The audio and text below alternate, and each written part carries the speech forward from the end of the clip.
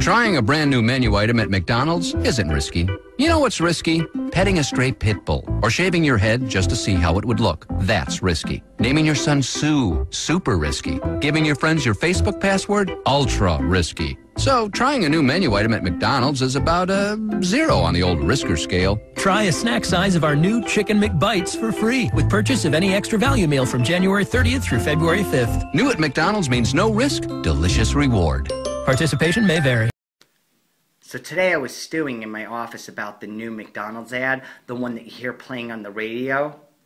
It's the one where McDonald's decided that they were going to say their chicken McNuggets are safer to eat than petting a pit bull. McDonald's, have you lost your mind? So I decided to get a little bit more opinion on this by putting it on my Vegan Pet Man Facebook page. And within a very short amount of time, uh, over 100 likes, and not likes in the sense that they like this, but likes in the sense that they want to spread it around. Lots of shares and over 60 comments in just a few hours, and it keeps building. So I want to say to McDonald's that pit bulls, by their nature, are not mean animals. Pit bulls love to please. Pit bulls, by their nature, are actually very gentle creatures. They actually do very well with families and children. But of course, because they love to please so much, certain people, unscrupulous people, have trained aggression into them. And again, it's trained in aggression. Um, McDonald's, I think you're crazy. A pit bull is one of the most loving dogs in the world, and I have not only loved pit bulls but rescued them. Stray, you know, any stray dog is great, but dogs can be dangerous. Cats, any animal can, if they're not tame. But using a pit bull, putting a breed out there like that,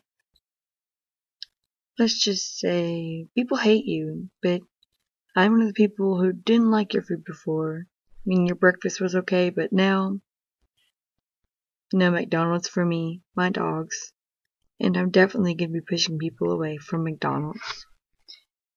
Next time, don't use the breed, don't use a dog, don't use an animal to compare to your disgusting chicken, slime, whatever you want to call it.